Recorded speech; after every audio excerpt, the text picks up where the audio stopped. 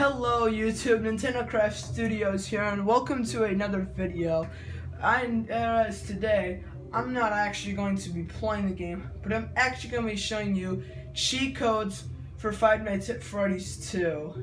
And I'm playing this on Steam, so I'm doing it on the computer version.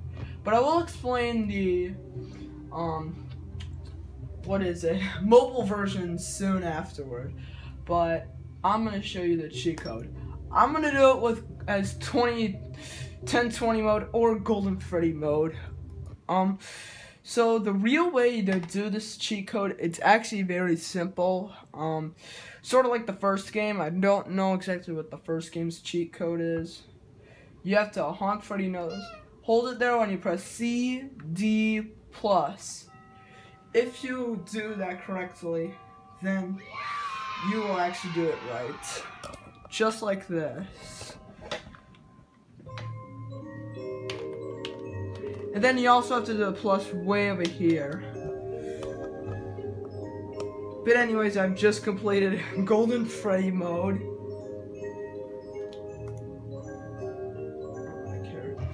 So you pretty much, what you do is you honk Freddy nose and you hold the mouse down. Then you press C, D, and then plus. The plus on the far right of your keyboard. And doing that, then you will be able to skip the night all the way to 6 a.m.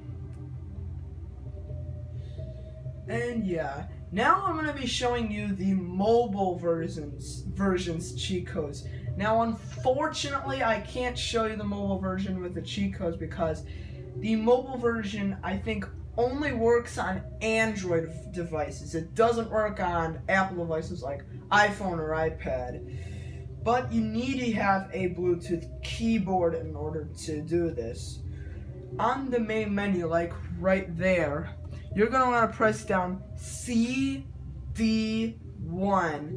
Pressing that will allow you to skip straight to the sixth night. But if you press CD2, then you will be able to skip all right, right away to the custom night where you can choose. But that pretty much covers it for this video, so thanks for watching, and I will try to find the cheat codes for the first game as well. So I guess I'll see you later. Peace out.